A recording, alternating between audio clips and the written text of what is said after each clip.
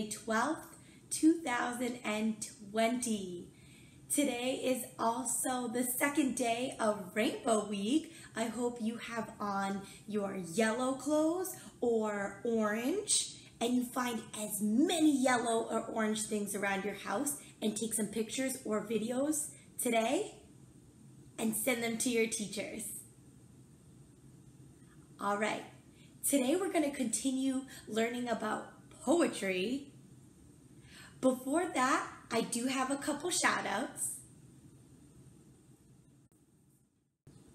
All right, these friends did a really nice job of making sure their poems rhymed and made sense about the subject they were writing about. Some were long, some were short, but all of them were fun to read, and all of them I could tell came from the heart. All right, so as you check them out today, I want you to see what they were writing about, how they wrote it, how they expressed themselves, and how they made it their own voice. All right, shout out to Gabriel, Tyree, Naraya from Scranton, Carlos, Isaac, Aiden, Divine, Lewis, and Marquise. All right, let's roll the clip.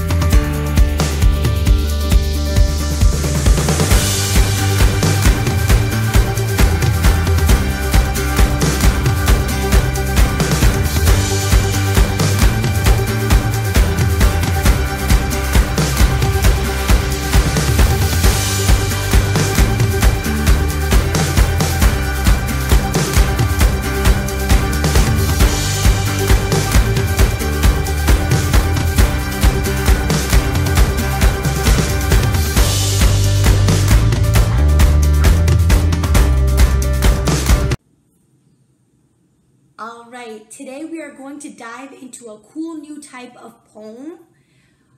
Some of you might remember writing these in school. They're called acrostic poems. Acrostic poems play with the way a poem looks, the structure of it, and it can be read in two different directions, which is super cool. Poets, those are the people who write poetry, that's you. Poets who write acrostic poems, they pick a certain idea or a certain word, and then they use that or idea or word to write the rest of the poem. Okay? Now today, we are going to split this up into two parts. That means today is just part one, and tomorrow will be part two. So you'll have plenty of time to learn and to practice. All right, everyone. Today we are going to read a story called Anna and Adam Build an Acrostic. We are reading this before we plan out what we're going to write in our poem. Again, we are splitting it up into two parts, and today is just part one when we are doing our brainstorm and our plan. And then tomorrow in part two, we will actually write the poem. As you listen to this story, I want you to notice their thought process. And what I mean by that is I want you to notice how they're coming up with their ideas, how they're using them to write their poems, how they're editing their poems and how they're being true artists and true poets by letting themselves write freely. Okay? So when we do our brainstorm and our plan today, you are going to do that same thing. Don't worry, I'll show you how.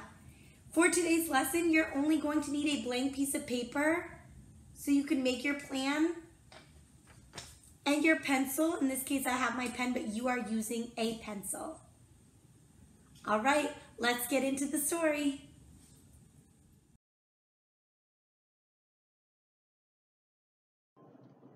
All right, here we go, friends. Anna and Adam build an acrostic. Why I like poetry. I never thought I'd say this, but I like poetry.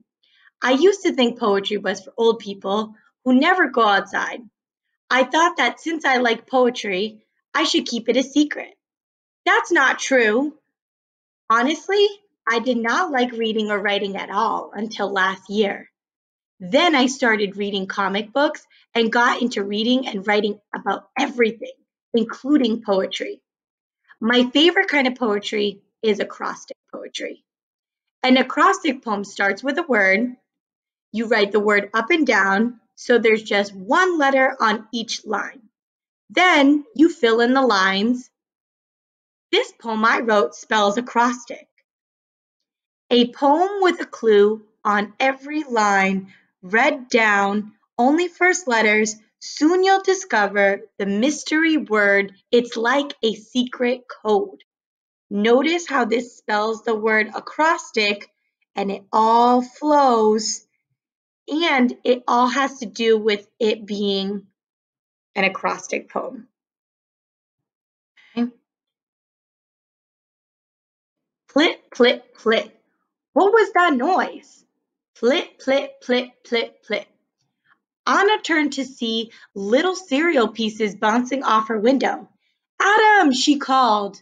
Opening her window, she saw her best friend leaning out of his own bedroom window across the alley. Shh, Adam hissed. I mean, be quiet, please. Here. He tossed her a balled up paper.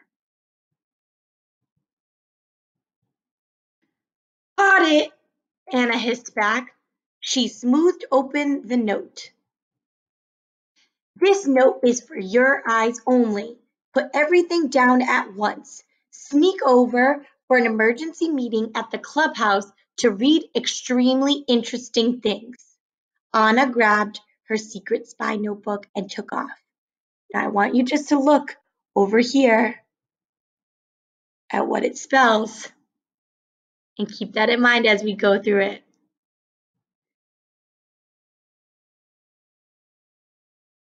Did anyone see you? Adam asked Anna as she crawled inside the clubhouse. I don't think so, Anna said. She plopped down next to Adam.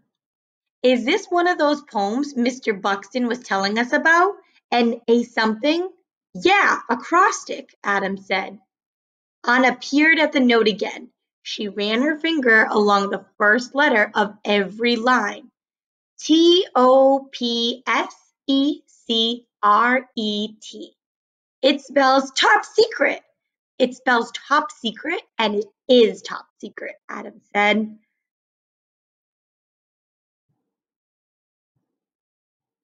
Check this out, he said, pulling out a pink notebook from behind his back. I found it in the bottom of a closet, he explained. Wow, this looks old, Anna exclaimed. It's my mom's, from when she was in high school, Adam said, turning to a page. Kenny, I remember the starry night, star of me and you, everlasting love. Kenny? That's your dad? Anna said. She ran her finger along the left side of the poem. Wait a minute. This poem is an acrostic. It spells kiss me, Adam gasped. Ew, the two friends yelled.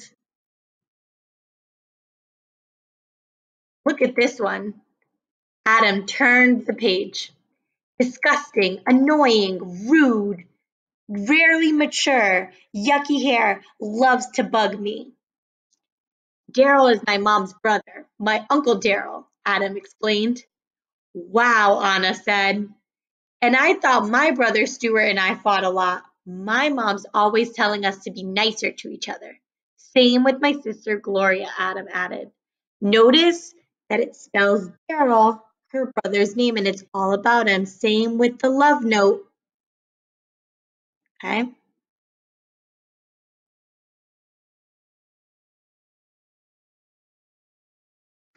Adam leaned back on a giant pillow and stared at the ceiling.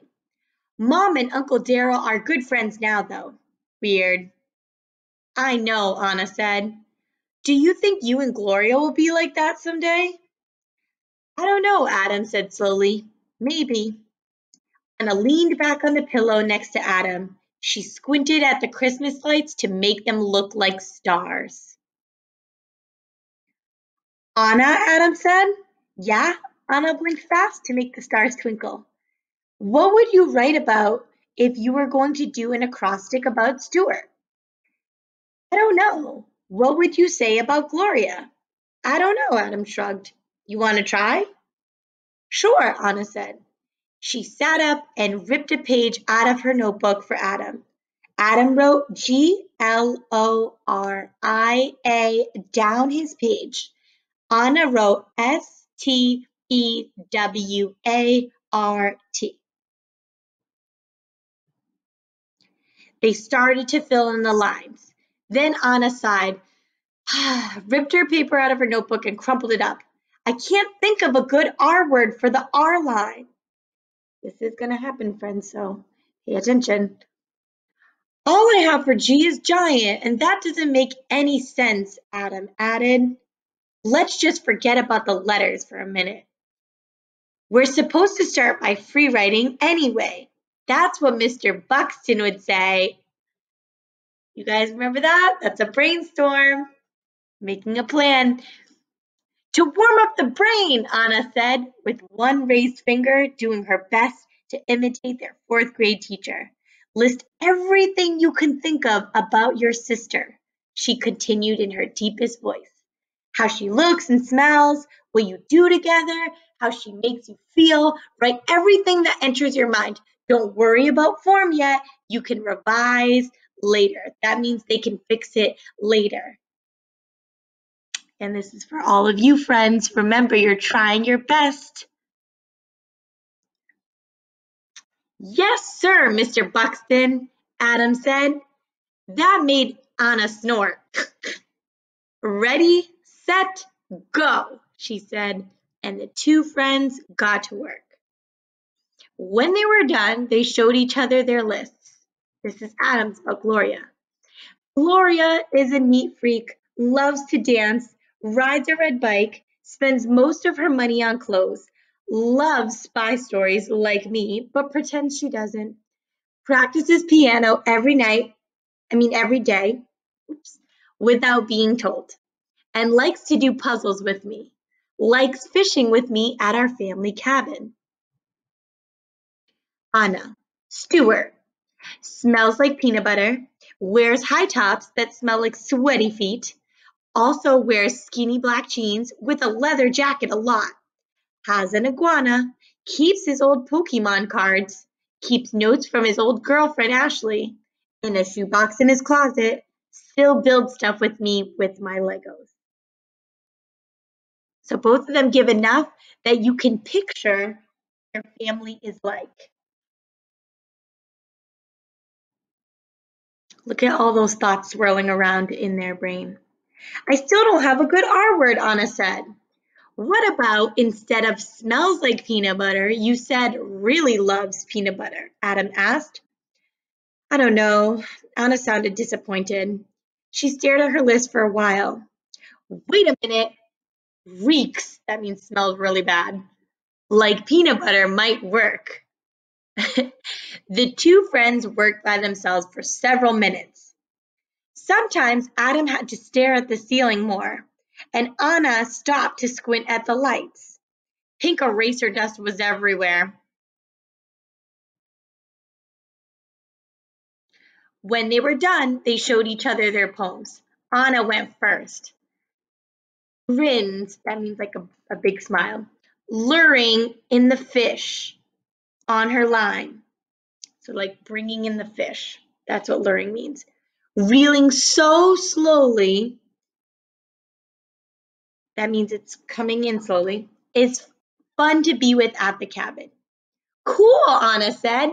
I liked thinking about fishing at the cabin, Adam explained.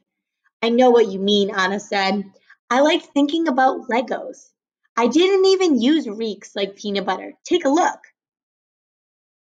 Still builds towers with Legos and eight kinds of spaceships and weird aliens and creepy robots. Too bad he stinks. Ha! Adam laughed. Remember that time you guys tried to make that Lego T-Rex, but it looked more like a cactus? Aha! Anna said. She crossed out towers and wrote T-Rex instead. We don't even really make towers, she explained. I just couldn't think of anything else. That might happen to us too, guys. But notice how they're they're um, feeding ideas to each other.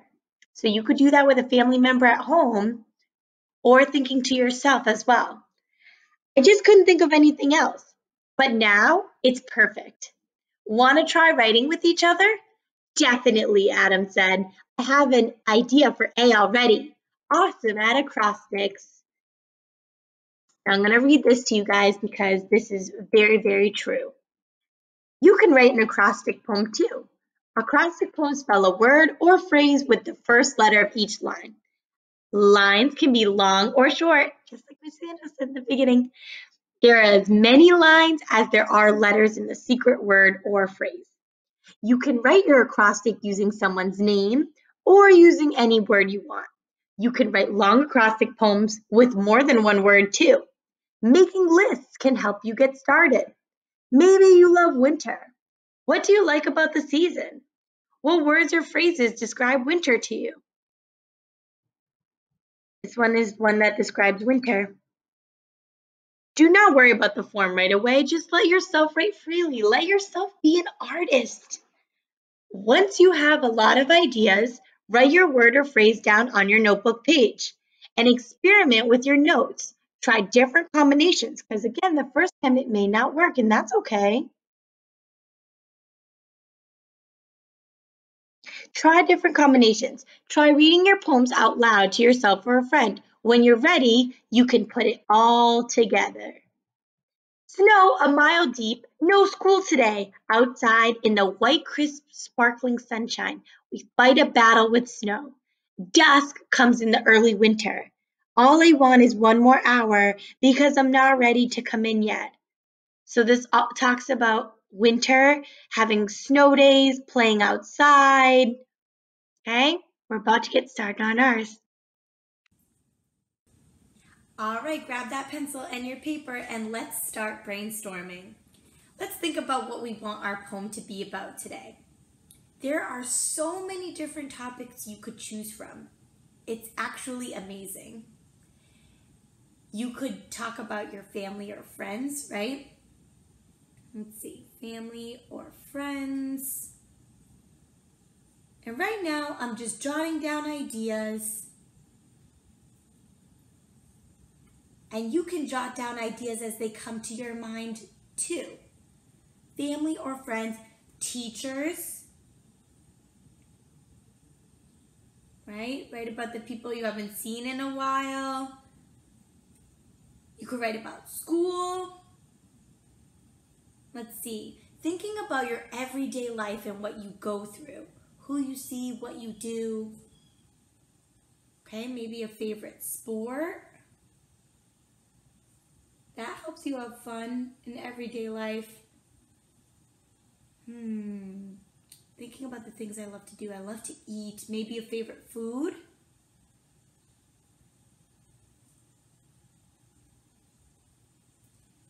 Hmm. Maybe my favorite subject.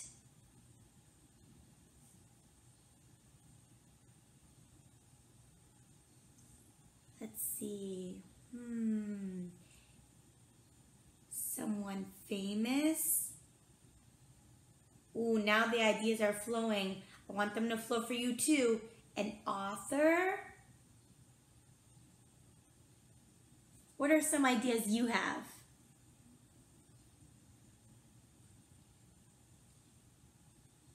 Awesome. Let's write that down.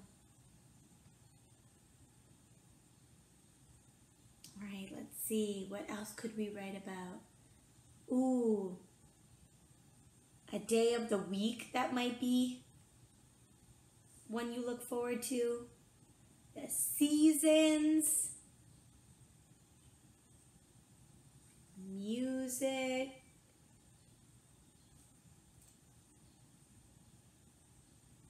art. Ooh, maybe a memory you have.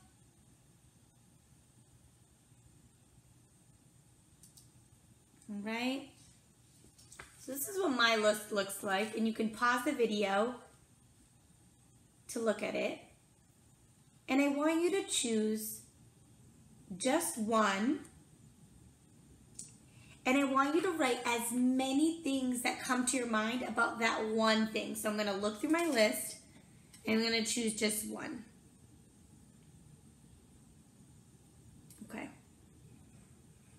So I chose day of the week. I'm to write about my favorite day of the week. I chose that. So now off here in the bottom part of my paper, I'm to write as many things that come to my mind about um, my favorite day of the week. My favorite day of the week is Monday. When I think about Mondays, I'm just writing whatever comes to my mind. So, start to the week. I'm not thinking about the poem yet because we're doing that tomorrow. Start to the week. What else happens on Mondays? It's a fresh start.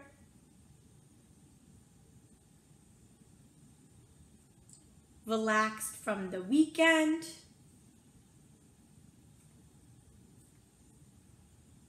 Ready to go. Thinking about words that remind you of what you're writing about. So I'm going to write motivated.